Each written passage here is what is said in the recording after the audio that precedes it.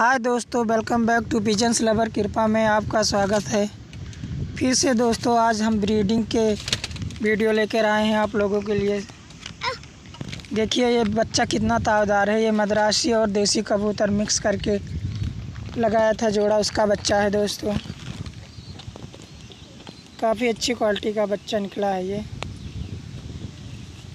ये हमारी breeding progress है। आठ बच्चे हुए हैं जिसमें से तीन बच्चे अभी बहुत छोटे हैं।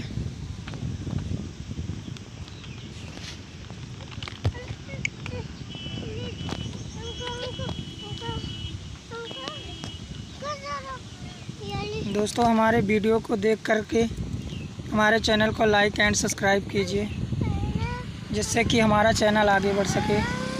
और आप लोगों के लिए हम ऐसे ही अच्छे से अच्छे वीडियो लाते रहें।